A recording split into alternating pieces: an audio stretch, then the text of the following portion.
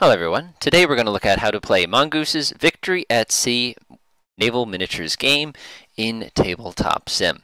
Uh, before I get begin and uh, kind of get rolling with the actual rules and kind of how to do this, um, quick thing, this is basically I removed the table and I took a custom game board, slapped on an image from Google Earth that looks kind of like water. This is kind of neat if you have like a sea action that actually takes place and you can put islands in and make your own custom graphics for this. But I suggest, you know, do whatever works pretty well for you. So anyway, um, what is Victory at Sea? Victory at Sea is a set of naval miniature wargaming rules that that enables you to reenact a bunch of different battles throughout, especially World War II, World War I. There are some modern rules, but they don't apply to this particular game, this particular setting. So uh, as you probably saw in the live action version of this, um, I've got the same exact setup. Over here I have a Brooklyn class cruiser, and over here I have a Victory class cargo ship. Um, even though normally this would be on the same side, we're going to use them as antagonists just to kind of demonstrate some of the different features of this game. So anyway, the games are relatively easy to do. Uh, first thing you're going to do is roll initiative, then you're going to have a movement phase, then you're going to have an attack phase, then finally you get this end phase, kind of a cleanup phase. So starting at the beginning, we have the initiative phase. Initiative phase is real easy. Each player takes two die six and rolls it. Whoop, throw that one over there, throw that one over there. So in this case, it gave us a 9 for the American Brooklyn, and it gave us a 7 over here for our victory. Uh, keep in mind this is by side usually, not by ship. Um, normally, we'd say, well, this guy got a 9 and this guy got a 7. This guy gets to decide who moves first. This ship, let's say it had a rule that looked something closer to like this. In this case, the civilian ship would be going first, or get to decide who moves first, I should say. But since it is a civil ship, you have to subtract 1 from that roll.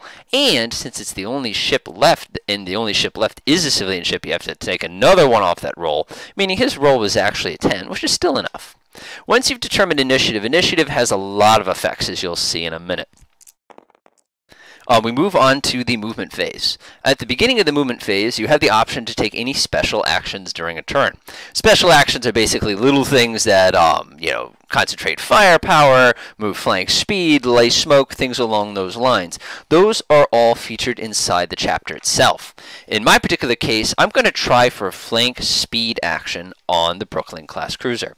Oh, by the way, during the movement phase, the person who won initiative decides who gets to move first. Once he's moved a ship, or the other person has moved a ship, then you alternate who moves ships. If you have a situation where one side has more ships than the other, usually those extra ships move after everybody else is gone.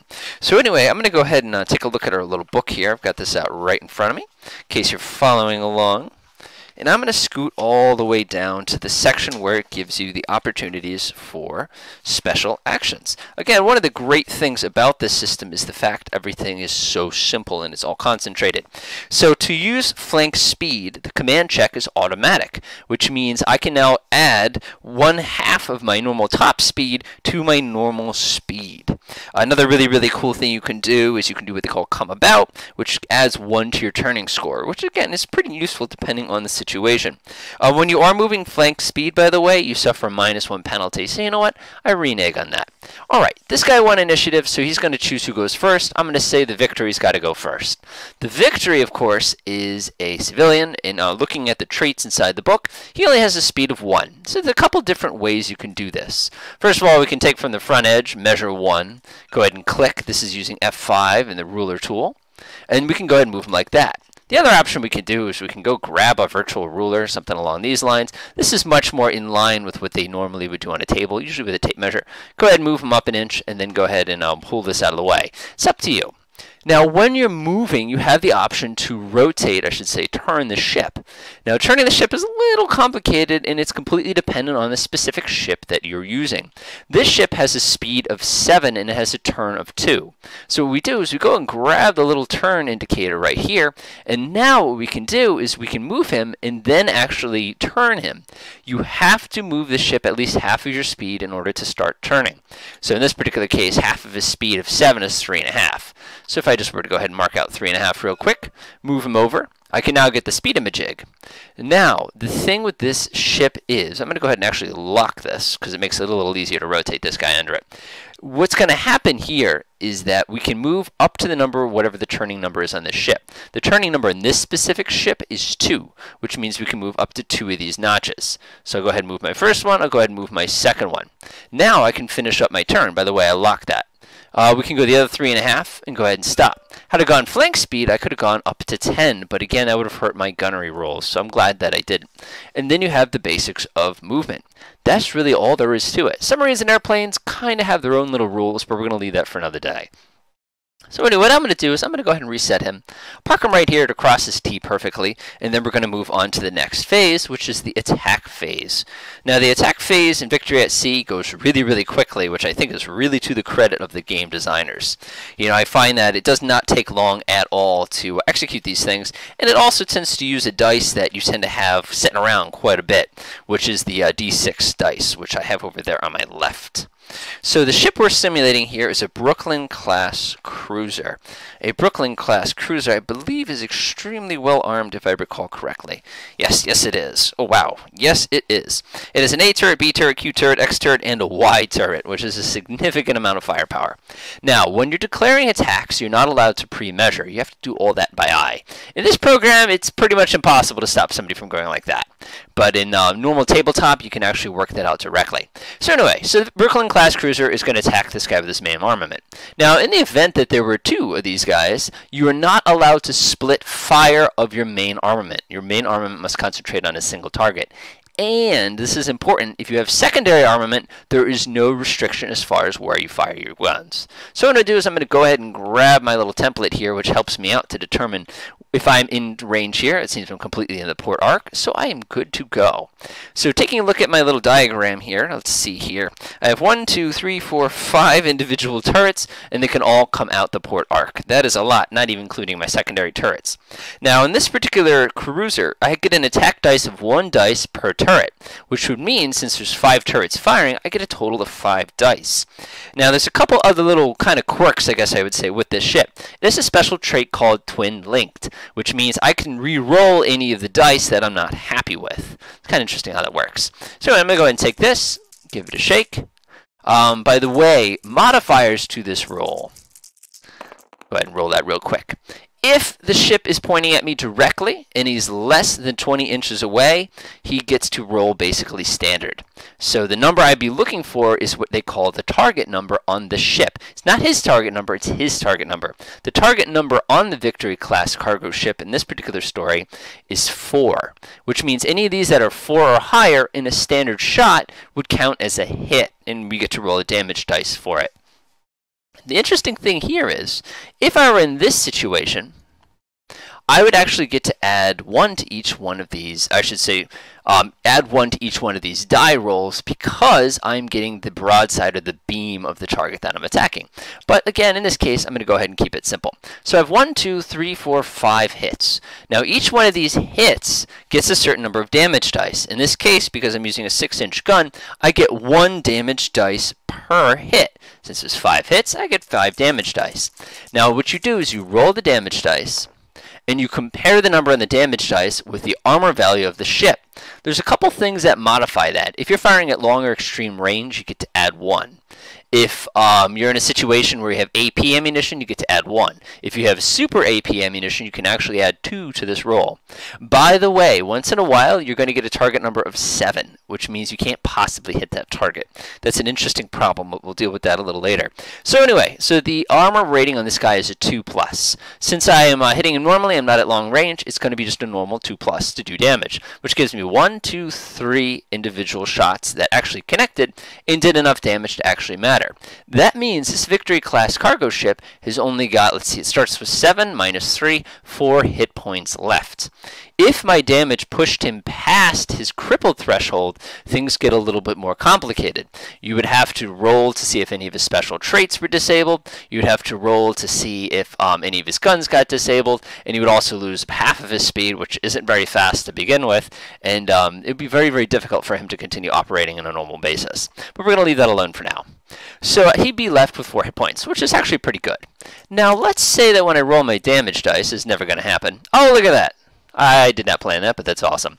Let's say I roll my damage dice and it gives me a 6. That means there's a possibility of a critical hit. We just take that and we need a 4 up in order to count it. Perfect. So now we get to roll in the critical hit chart. To do a critical hit, it's very, very simple. You're just going to grab two die 6 and go ahead and roll it. So in this case, we got a 4 and a 4, which gives us an 8 We then cross-reference that value of an 8 with the critical hit chart, which in this case would be the engines. So now we take another die 6 and roll it on the engine chart to see what actually got damaged. 5. So in this case, it says the fuel systems are ruptured. So we increase the damage from that hit. Just that hit, though. So we'd have 3 damage on that particular hit, plus the other 2 damage. That's 5 damage. That actually cripples the ship. It also says it does 2 crew damage. Now the interesting thing here is because this ship is crewed with only 2, that doesn't mean 2 people, um, that would mean the ship has no crew left, so it can no longer perform actions. And then finally it says um, there's minus 3 speed, which is speed was 1, so minus 3 is 2, and a fire starts. Now, in the event that you have a fire, it's probably a pretty good idea to go ahead and get yourself some kind of special custom token that you can use to represent he's on fire, or if you're keeping track of... Um, these sorts of things on a character sheet, and a character sheet, a vehicle sheet. You can go ahead and do that. Also, since this is the universe of Tabletop Sim, you can come over here and do something like that. Now you can uh, represent like that, that he's on fire. Again, you're going to decide which one of these methods works best for you. I think that's pretty dramatic, so I'm actually going to leave him burning like that. We'll deal with the fire in a minute. So um, if a ship has secondary armament, keep in mind, this is just from the first shots that we did. If a ship has secondary armament, you can target anyone, you can split your fire, and you can actually fire it in every single direction without any penalty. Now this particular ship has two die for secondary armament. So again, we're trying to hit on a 4 up, which we do get, which means he gets another die on a 2 up. That's a 6, another possible critical. Wow, this is just not this guy's day. Another thing I want to point out too is the main guns on this, and I forgot to mention this a moment ago, have a special characteristic called weak. That means that on damage die, you have to subtract 1 from the die. So normally it would be a 2 cause damage, that would actually count itself as a 1 and cause no damage to the particular victory class ship. So um, what if we have torpedoes? So I'm going to go ahead and swap this guy out for a Fletcher class torpedo, a destroyer rather. I'm going to go ahead and park him right here.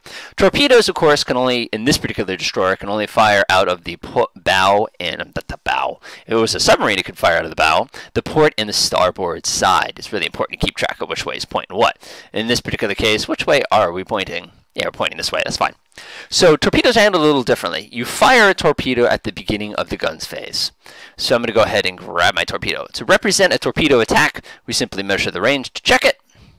6, that's within 10. And then we go ahead and put the torpedo marker next to the target we're firing a torpedo at. That's it. Now, at the end of the guns, or I should say the attack phase, then we actually roll to see if the torpedo was successful. When you're firing torpedoes, there's no long range modifier. The only real modifier here is if you're attacking the beam or you're attacking the bow or the stern of the ship. In this case, we took a beam shot. To roll for torpedo attacks, uh, this particular ship gets five attack dice. Now, the only thing modifying this, remember, is the fact we're doing a beam attack. So the hit on this guy would be a 4. We're doing a beam attack, which actually brings it to a 3. So one, two, three, four. Wow, so four individual hits with that torpedo. That could either represent one torpedo doing an amazing shot or four torpedoes with individual shots. Now, for each torpedo that hit, you have to now roll, uh, specific to this particular vehicle, five dice to see how much damage it does. So this is for the first hit. One, two, three, possible two criticals two criticals, and then you'd have to roll it again. Then you'd have to roll it again. Then we'd have to roll it again. So without doing the math quickly, that looks something like 14, 15 damage plus 3 critical hits. Um, safe to say the victory class is not coming back from that. Now if it was the Bismarck, might be a different story. Now, let's say that all this happened and somehow our victory, which is at minus like 20 hit points at this point, say our victory ship is uh, still going. I'd be impressed. But um, we get to the end phase finally. The end phase is when you do all damage control. Damage control is pretty straightforward in this game. If you have a critical hit, not a vital hit, you can roll to fix it. So in this case, if you remember a little while ago, we got a fuel system rupture hit. So to fix that, what we need to do is we need to take a die 6, and we need to add the ship's command score. The ship's command score is something you come up with when you're first building the ship itself. Generally, that number's 4. It can be as low as 2. I'm sure you can have a 1, but since this is a merchant, I'm going to say 3. Okay, so 3 plus 2 is 5. If we were able to get a number of a 9 or more, we'd be able to fix that damage to our, our fuel lines, which we are not able to, unfortunately. Remember, you can't bring back dead crew, by the way. So this, this is bad news. This is bad news. So what about that fire? So to fix the fire, we have to roll against each fire that our ship has. Now in this case, it's going to be a d6 plus our crew again. Remember, it's plus 3. So we got a 6. So that means a 9, which means for um, every one of the fires, we get to, um, for each fire that we roll for, we can put out a fire if we get a 7 or better. In this case, we got a 9, so that actually removes that fire. I'm going to go light the water on fire for some reason. Nah, I just delete it. It's fine. Which would mean the fire goes out. Now, if the fire was not put out, the ship would take two crew people damage. Now, remember, the ship only has a crew of two, which would mean the ship has run out of people to run the ship at that point, and it's just adrift. Now, a lot of people do the best they can to try to keep that information secret from their partner to like say, oh, the ship's still there, but why didn't it move? You know, just to kind of keep things interesting. So that's the basics of playing Victory at Sea using Tabletop Sim. Uh, there's other elements to this game, such as submarines and airplanes, but we're going to cover that on a different day. There's also extra bonus expanded rules. Now, one last thing I'm going to leave you guys with. If you remember a little while ago, I mentioned the fact that if you run into a situation where you add up all the bonuses and penalties, and you end up with a uh, 7, for the attack, you'll notice that a 6 can't get to 7. If that happens, you can't actually damage the vehicle you're shooting at. My favorite example of this, of course, is this scenario, where the uh, Fletcher-class destroyer, if it moves 6 inches or more, gets plus 1 to hit, but it's already at a plus 6 to hit, which would mean if this particular destroyer were to move, let's say, 7 inches, it now has a target number of 7, which means the Brooklyn is unable to actually hit the destroyer. This, of course, would be different if it did 7 like this, because at least you get the plus 1 because you're hitting his beam again, which is fairly useful. Um, another thing I want to add too is if you're in a situation where you're more than 20 inches apart from the target you're attacking, this particular case, then you're at long range and you have to add one to your roll. So for this particular guy, for remember, he had uh, five attack dice. Hitting a destroyer is a six, but since we're at long range, it becomes a 7, which makes this impossible. But he is giving us his broadside, which means we get to go back to a 6. So this is going to be pretty unlikely. Yeah, exactly as we expected. So unfortunately, that was a no hit on that particular character. In the event that you did hit, you always get to add one to your damage dice. That doesn't mean you get to add an extra damage dice. That just means you add one to the roll because of the plunging fire. If I were to flip this to the side, for example, when these things are firing, they're doing something kind of like my finger versus these flat shots that come in like that at shorter range. So um, also, if a guy finds himself all the way out at this distance, this is extreme range because it's greater than 30 inches, you have to actually add 2 to your to hit roll, which again, for Mr. Destroyer, in any situation, he's impossible to hit. So that's the basics of uh, Victory at Sea for Mongoose. Hopefully you guys enjoyed. If you have any questions, toss them in the comments. Any corrections, I'll try to throw in some annotations. Enjoy.